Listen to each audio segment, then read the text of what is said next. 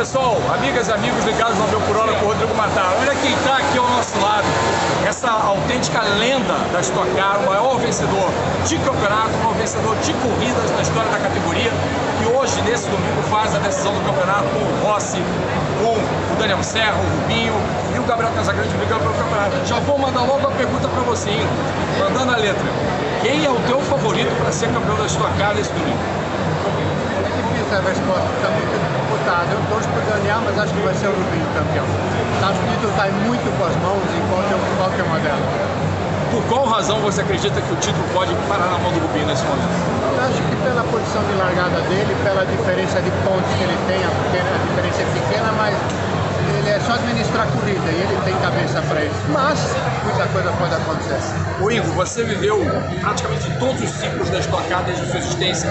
Mesmo quando você para de correr, você está aqui, sempre vivendo esse ambiente, né? E a categoria começou lá com os opalões em 79 e hoje está aqui em 2022, com duas montadoras, prospectando o futuro. Como é que você vê a, a cara da Stock Car atual, irmão? Cara, é muito legal ver a categoria no nível que ela está, porque eu comecei em 79, mudaram os opalas. Mínima chance de comparar.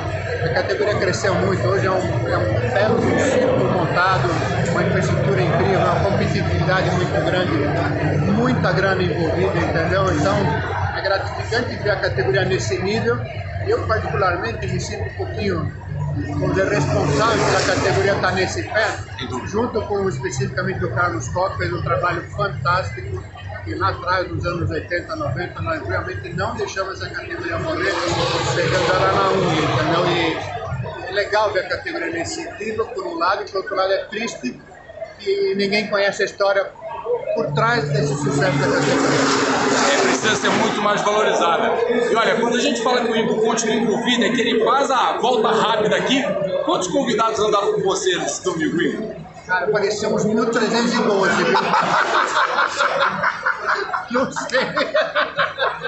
Mas você descasca, né? Que é pra dar aquela adrenalina pra quem tá andando do teu lado, né não? Não, você sabe que não, Rodrigo. Eu ando num ritmo até que muito suave, mas eu percebo sim que o pessoal fica empolgado, entendeu? Acontece É, né? que a minha referência não é muito alta, entendeu? Claro, então, claro. se eu andar 60%, 70%, para mim não é nada, para eles é muito, entendeu?